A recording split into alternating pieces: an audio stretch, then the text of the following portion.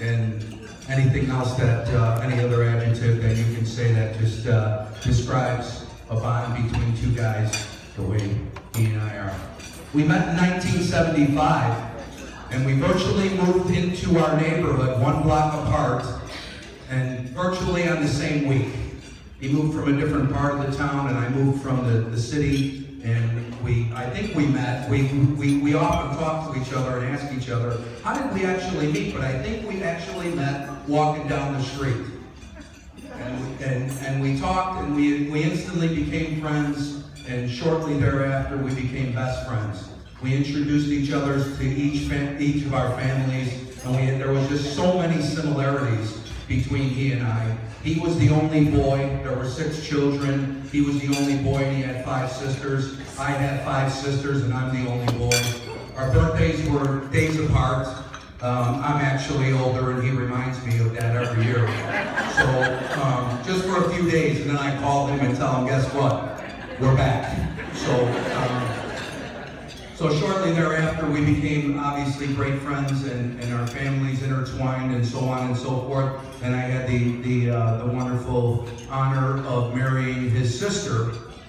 Uh, and we have been married for 31 years.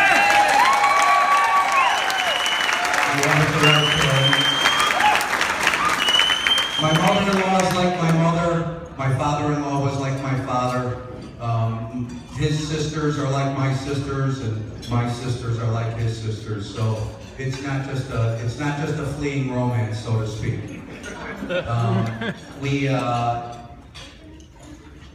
we we just kind of grew up together, and that's the way it is. And we've stayed our bond has stayed strong ever since.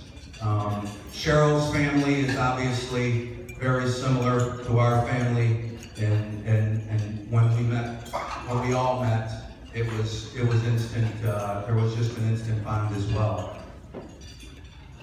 Frankie, I'm going to go back to Frank, if, if I will. Frankie is known by all of our friends, all of the people that we know, all of you people here that know Frank as a stand-up guy. He's a, he's a man.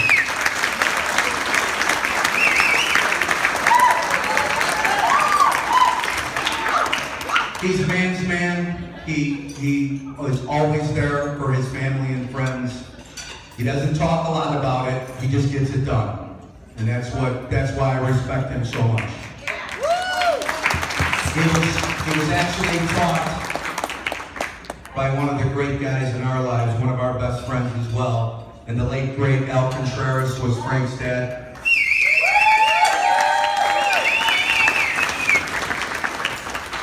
If you were here today, buddy, he would say, great job, you paid your dues.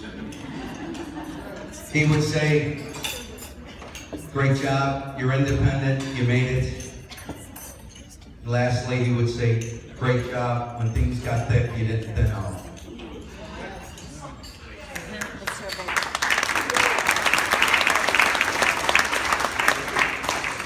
Lastly, I'd like to I'd like to say, Sheryl, Welcome to our family. We love you. I know I bust your chops as much as I can, but you are definitely a formidable opponent. So.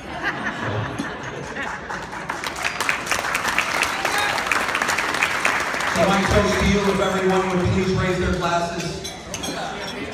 My toast to Sheryl and Frank is may God bless you both today and always. Look forward to another 40 years together with you.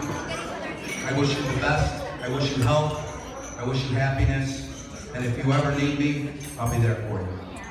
God bless.